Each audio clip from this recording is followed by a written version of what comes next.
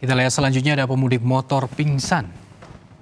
Saudara menunggu antrean berjam-jam di tengah cuaca panas terik membuat sejumlah pemudik motor di Pelabuhan Ciwan dan Cilegon, Banten kelelahan. Tak sedikit pemudik yang jatuh pingsan karena dehidrasi. Ketahanan fisik para pemudik motor di Pelabuhan Ciwan dan Cilegon, Banten kali ini benar-benar diuji.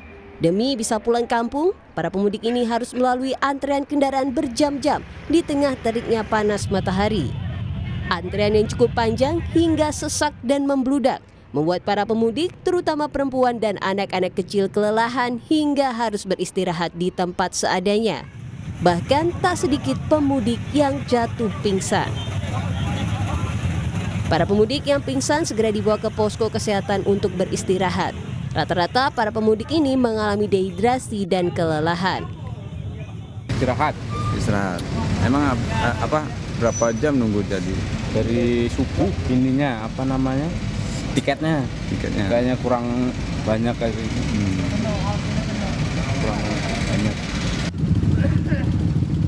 Pihak Pelabuhan Pelindo Regional 2 Banten Ciwandan telah mengerahkan satu unit mobil pemadam kebakaran untuk menyemprotkan air sebagai usaha mengurangi udara panas bagi pemudik. Meski demikian, pemudik tetap diimbau untuk menjaga kesehatan dan fisik agar tiba di kampung halaman dengan selamat. Suherdi, Kompas TV Cilegon, Banten.